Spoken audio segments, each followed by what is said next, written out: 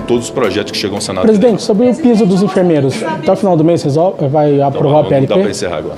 Vamos lá com? Até o final do mês a gente tem votação do PLP é, do piso? A, a, a minha intenção é que todos esses projetos, que são soluções para a fonte de custeio do piso dos enfermeiros, possam ser apreciados, votados. Nós aprovamos recentemente o PLP 44, sob a relatoria do senador Marcelo Castro, é um projeto de autoria do senador Luiz Carlos Reis, que busca permitir o remanejamento de recursos orçamentários em dotações anteriores, exercícios anteriores, para os exercícios subsequentes. Há um projeto de repatriação sob a relatoria do senador Renan Calheiros, que só não foi apreciado ainda porque houve um pedido do governo, da liderança do governo, do senador Carlos Portinho, que pudesse fazer um amadurecimento de textos para o bem, ou seja, para melhorar e tornar mais atrativo o programa de repatriação, mas é uma fonte de custeio também extraordinária, na minha opinião, para estados e municípios fazerem frente ao piso, de modo que com todos esses projetos apreciados, eu levarei ao Supremo Tribunal Federal e, naturalmente, que é o nosso desejo do Congresso Nacional fazer com que o piso prevaleça e que essa decisão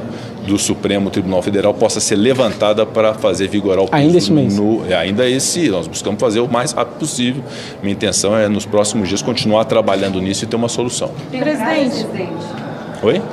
Prazo? Tem um prazo? Não, não tem um prazo definido, não. Nós já aprovamos um projeto, temos o da repatriação, há alguns projetos que estão na Câmara dos Deputados. Há relativamente aos hospitais privados o projeto da desoneração da folha de pagamento, que é reputado por eles próprios como suficiente para é, fazer valer o impacto financeiro do, da fixação do piso.